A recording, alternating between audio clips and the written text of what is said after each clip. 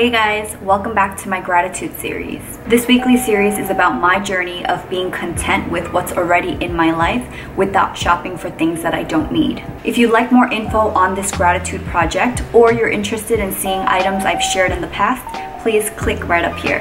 As an extension of yesterday's morning chat, today I'd like to share some of my favorite non toxic or less toxic personal care products. We're exposed to so many different chemicals in our everyday lives, many of which are completely out of our control. But I think most of us, when we have the choice, would choose safer, cleanly formulated products to put on our skin. And I hope that this video starts that conversation. Yesterday, I spoke about doing a beauty cabinet detox. Simply put, this means to go through your personal care products and check for ingredients that may be harmful and then consider replacing them with healthier alternatives. I'll leave a link below outlining the details of the beauty cabinet detox. Some ways to look into how clean or dirty your products are is to check out the EWG Skin Deep database or the Think Dirty app or going onto Beauty Heroes' website and looking at the villains and superpower ingredients list. Just a note, the rating systems on EWG and Think Dirty vary slightly, as shown here. EWG is an American organization, and Think Dirty is based out of Canada. And like the EU,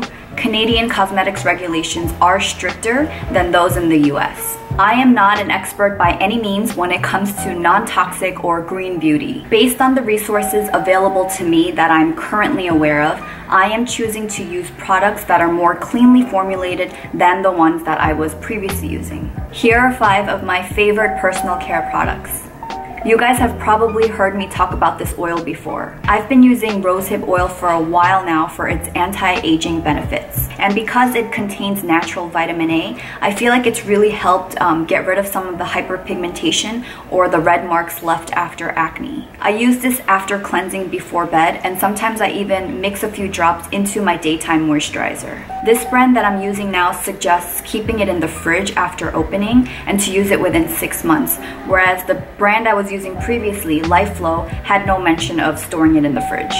This is the Kiss My Face Triple Action Toothpaste in the Cool Mint Gel. I've tried a bunch of natural toothpastes and this one is hands down my favorite and the most similar to traditional toothpaste in terms of taste and texture. This toothpaste contains aloe and tea tree oil and it does not contain fluoride and SLS. Now I've read conflicting things about whether to avoid or not to avoid fluoride and SLS so if you guys could give me some insight on that, that would be really helpful. I guess I'm erring more on the side of caution at the moment by using a toothpaste that doesn't contain those two ingredients.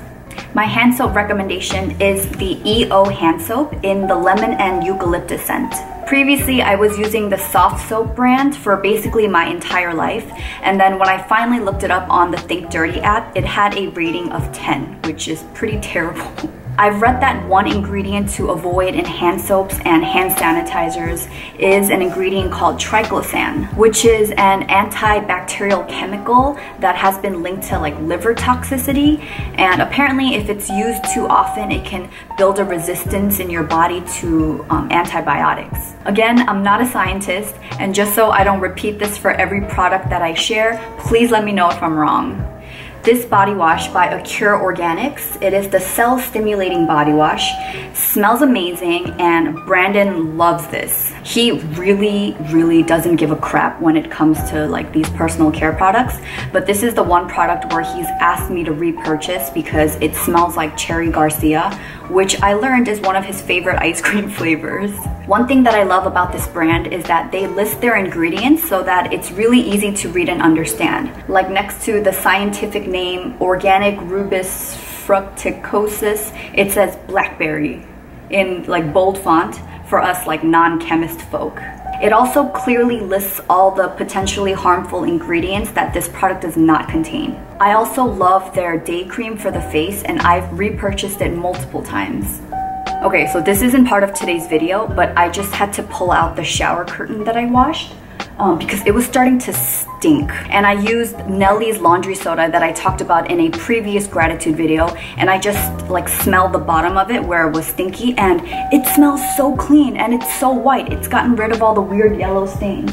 So anyway, And the last product I have for you today is the Kiss My Face Shaving Cream. I have this in the Lavender Shea scent. It has the consistency of a creamy shower gel and it works just as well as any shaving cream that I've used before. One thing to note is I looked this up on EWG and it listed one of the ingredients as having a hazard rating of 9, but then I checked my bottle and I didn't see that ingredient on here, so I'm wondering if that's just an old formulation. This has been lasting me forever. I've had this for over a year and there's definitely more than half the bottle left. So I'd love to know what's one non-toxic product you love or are interested in trying.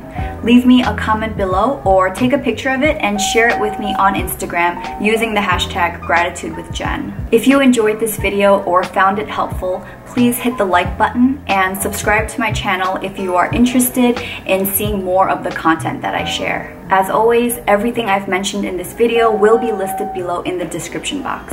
Thanks so much for watching and I hope your day and your attitudes filled with gratitude.